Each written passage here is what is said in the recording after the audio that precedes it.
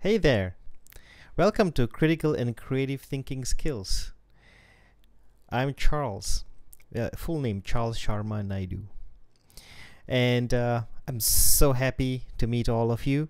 And you guys are going to rock. You know why I'm saying that? Because you guys are all naturally creative people. And I, I'm in awe with all of you. And I just want to bid you welcome again to Taylor's University online and welcome to CCTS Online.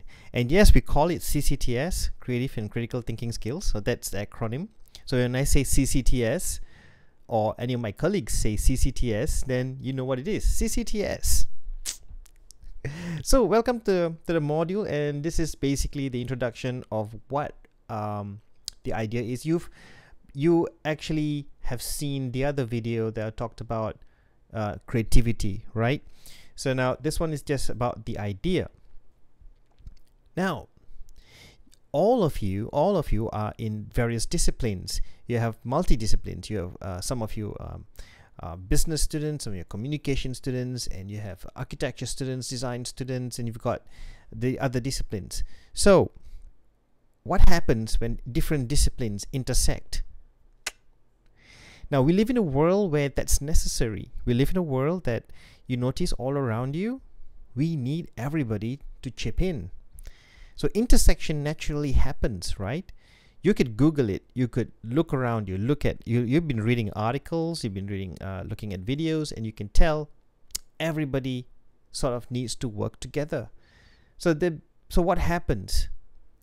Ideas happen. So basically, this short lecture is about the idea. What is what is so important about the idea? so Frans Johansson mentioned this. The intersection of fields definitely creates ideas. It combines existing concepts. Ideas are born all the time, every minute. Now, what is creative thinking and critical thinking? What do you think that is?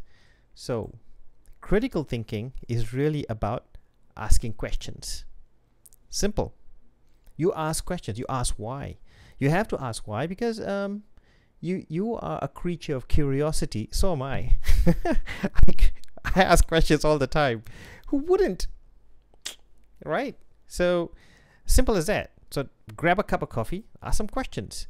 But why do you have to ask questions? Why? Um, well, you need to find answers. Isn't that so? I think some of you be replying this this this thing that I'm saying right now. It's like, yeah, duh. You need answers. But sometimes we need to ask the right ones. How do you know to, that you're asking the right ones? Um, you need to investigate. You guys are officially creative detectives. That's basically it, right? Now you have to find the right solutions. You just try and find solutions, but you need to find the right solutions you got to ask the right questions. Now, in order to write the ask the right question, you have to keep asking those questions. So you need to be a kind of a Sherlock Holmes. Now, let me tell you a concept about asking the right questions. Sometimes you got to ask several questions or many questions to ask it. Now, think about an onion, right? Now, the onion, if you look at the different layers of the onion, you, you peel different layers, right? And then you reach the core of an onion. So asking the different questions are like peeling different layers of the onion. First, you're going to have to ask the first question, which is the outer layer of the onion. You keep peeling them. Then you ask why again. Keep peeling them. You ask why again. And then eventually you get to the source of the problem. It's like this little game that we play all the time, asking why five times. Have you tried that? Try it yourself. you might get to the source of the problem. Now, search, investigations, um, it's all about research. Research is about questions. Now, you've heard that word research all the time, like this research, scientific research, and all that kind of thing, right? Now, that's what it is. It's all about asking questions, right? Now, you got to peel away those layers of cascading problems and consequences and all that. Now, this can take time if the questions are very vague. So sometimes you can actually ask very specific questions in order to find the specific answers. Now, this is something that you have to practice, and you've got to. Uh, it takes time for you to get used to the idea. So the right question is able to slice the onion into half. sometimes the right question you can chop and you sometimes you just get like a shortcut to the to the answers you know? Sometimes you can do it the long way you keep asking questions investigation to deductive logic and things like that but sometimes if you're fortunate enough to ask the right questions the more accurate questions you get the more accurate answers. So critical thinking is really about peeling those layers and in the whole design thinking process that's basically what you're going to be doing in the discovery section, in the more discovery mode, where you discover new solutions or discover new problems. Sometimes you don't realize these problems, you don't realize it because they are so blocked by different layers. Think about it. Now, the right question usually leads to the ability to identify what's fixing, what needs fixing, and what needs solving. Um, if you look at engineers today, if you look at anyone in any discipline, sometimes the problems can be very complex. There are lots of problems, there are a lot of issues all around us. There's one major one, right? you know, I don't have to mention it. Um, so you you know where the source is. You got to in, keep investigating, discovering the problems. Sometimes, uh, you can find problems in the most unexpected places because you you sometimes the most improbable could be true you never know. Um, so, when it comes to creative thinking, it's all about problem solving. Now, creative thinking is really you trying to work your way around those questions leading up to the problem, but you are also trying to generate solutions. Creative thinking is a process. It's not art. No, I think you've you've uh, You've seen that other lecture that I did, and I've told you it's not art. It's nothing to do with drawing. It's really about, you know, problem solving. Now, when it comes to problem solving, there are real problems in this world. Sometimes there are obstacles that you face. Uh, I face obstacles all the time. Uh, you do. No matter how small or how big they are, they're obstacles. Obstacles are like things that are blocking you. You know, like you walk on this road and you're like, oh, there's a big stone. You're like you can't move. Solution, move the stone away. If the stone is too heavy, why is it too heavy? Find another tool. Uh, Richard Branson is this this guy Richard Branson. He says if your dreams don't scare you, they're too small. Sometimes when you have big dreams, right, you think they're too big to achieve. Yeah, sometimes I feel that way too. But if you really think about it, you if you work towards that, it's quite possible to achieve. Uh, some and this man here is a good example. He he's achieved so much, right? He's achieved so much, but his real goal was to uh, see. He's got all these different uh, different companies. You know, you know, um, Tony Tony Fernandez of uh, Air Asia. He was inspired by Richard Branson, right? Richard Branson have this whole group of companies here. He's a real huge entrepreneur, very successful man and but his real goal is suborbital spaceflight. That's Virgin Galactic. Can you believe it? Virgin Galactic. Can you imagine a future that human beings can actually take a tour around the Earth on a plane? I mean, in in orbit. I mean, in suborbital orb. I mean, like wow, you know, like outside the Earth. Wow, you know, you travel to space and come back. Like like taking a bus ride space. And but yeah that's the kind of vision that he has you know?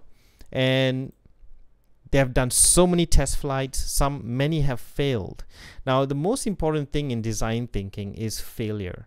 Failure breeds opportunity. Failure does not breed giving up. Now if you think you're, you know it doesn't doesn't work that way. So he's got a lot of this um, space fl- uh, test flights. And every time every time um, something fails they note things down. So that's the most important thing. Ideas are about opportunities. Opportunities come from things that don't work. And that's where innovation comes from too. When when something doesn't work when something doesn't work quite right the way you want it to that's an actually, that's actually an opportunity for you to um, to see what can develop out of that what, what opportunities for you to change things or improve things you know? So that's the whole issue about ideas. Now you have to write your ideas down. And if you notice the video on the google site eportfolio the google site the google site eportfolio actually is the evidence that you've been working.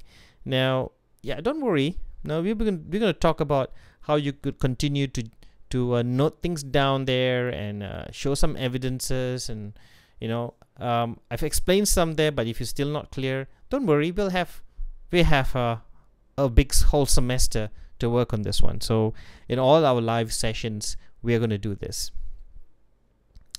Um, that's the thing that you need to note down. You need to note down that your mind is a visual mind. Um, 90% of the information in your brain is visual. Yeah.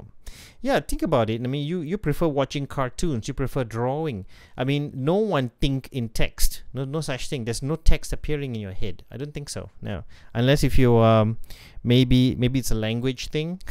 Maybe maybe you have a google translate in your head and you can see the text right? Well, i don't know. I don't know how you think. Everyone thinks differently. But uh I, I believe in, in sketching. I believe in doodling. Uh, I'm not I'm not fantastic at drawing. Nobody is. Okay, no one no one can draw. You're not meant to be Picasso or anything, but just doodle or create diagrams. Diagrams are visual too, right? Diagrams, uh, charts, and whatever. Those are those are visuals as well. So yeah, you need to write things down. Now, everybody have different ways of writing things down and jotting down ideas. Um, we used to have a workshop like that in campus. Well, this semester I didn't think we could do it, um, but I could show you, I could demonstrate to you. No worries. Um, in design thinking, visual thinking is so important. Sharing of ideas is very important.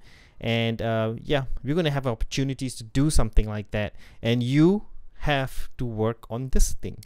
You're going to have to work on how you can exchange ideas with each other. There are ways to do this. And I'm sure there's huge opportunity for us to experiment uh, with different ways of communication right? now there's another guy I'll talk to talk you talk to you about. Um, excuse me, Elon Musk. Failure is an option. Again, I'm saying now I'm not I'm not asking you to fail. Nobody wants to fail, but if it doesn't work, now the failure. You know where does failure come from? Failure comes from effort, attempt.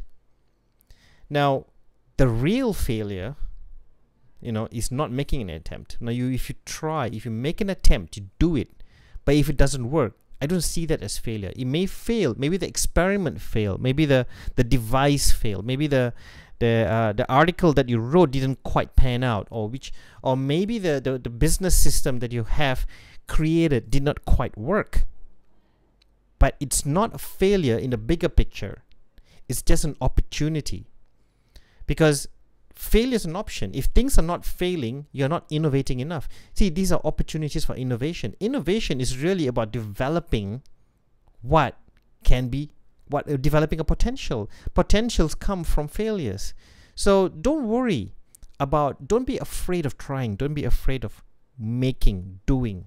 Dad, no one's going to judge you. I, I ain't going to judge you. I mean, look at the man. I mean, this, he he tried to create a whole, a booster rocket that would uh, land by itself you know now a reusable booster rocket for uh, space travel saves so much money it saves billions saves millions of dollars you know uh, of taxpayers money and, and uh, billions of dollars of of um, expenses you know now because a reusable rocket doesn't go waste. In the in the past the main problem with uh, space travel is huge and it's very expensive and very risky because uh, booster rockets once they detach in orbit they you know they fall into the sea and it's all gone destroyed. So it's a lot a lot of wastage. But here he been trying to design a booster rocket that been reused that lands by itself. I mean how awesome is that you could only see that in science fiction so he keep trying they keep trying and they keep investigating multiple failures identifying what on earth is wrong with the system See, he, they're doing it. They're making the attempt. They're trying to work it out. But it, nothing. If it doesn't work, you know, it's kaboom. So you see, you see an explosion right behind me, right there. okay, so they just never gave up trying. Now, finally, there you go. It worked. Why? Because failures create opportunities. Fixing the problem based on failures transform failure into success. It's a process. Now, design thinking is not about art, right? No, no, no. Creative creativity is not about art.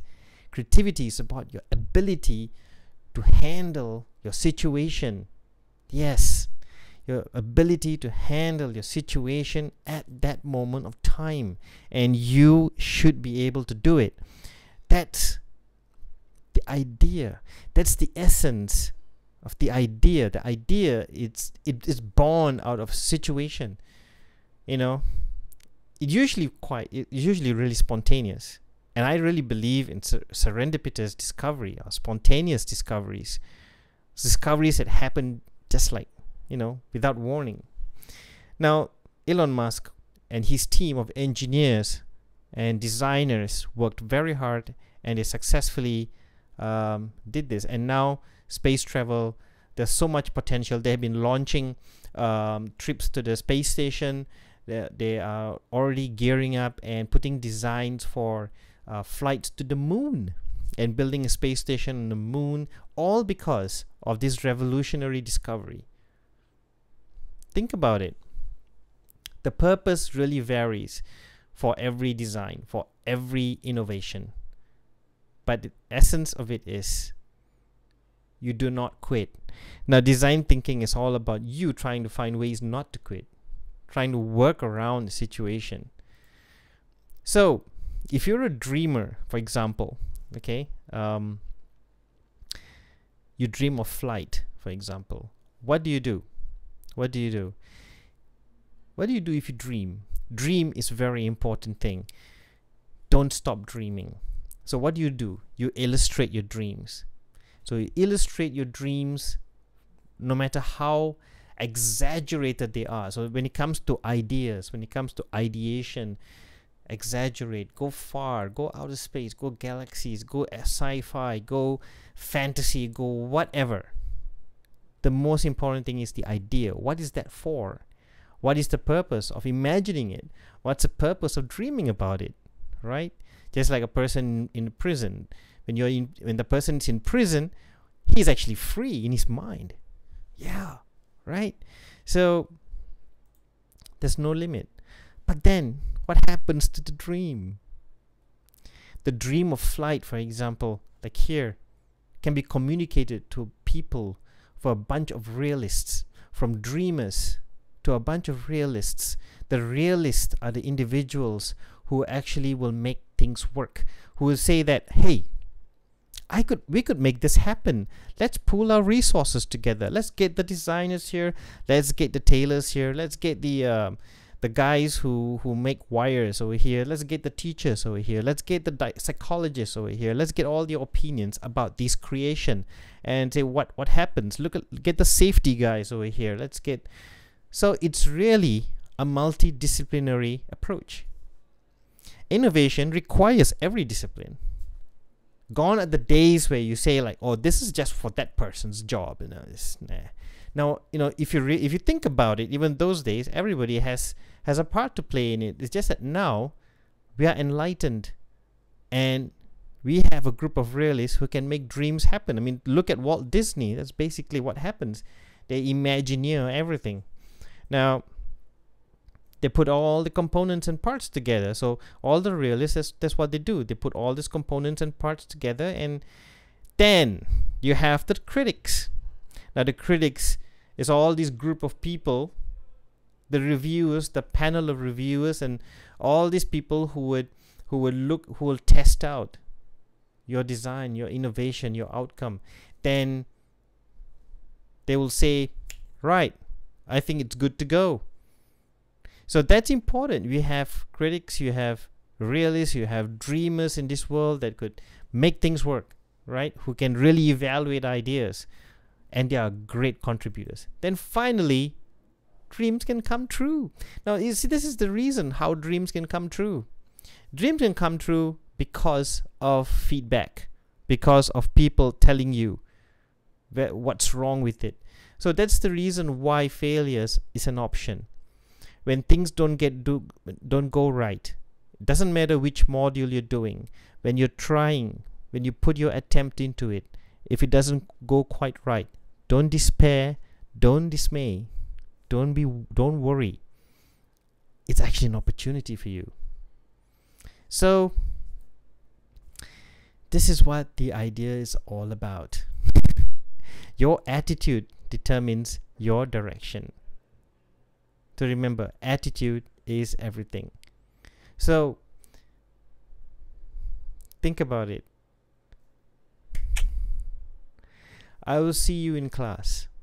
So I hope you don't um, don't have don't put yourself in such a, a high expectation. Just focus on what you have right now and put your expectations into positive thinking. Just say to yourself, I'm able to take this journey and I'm going to take this journey with courage.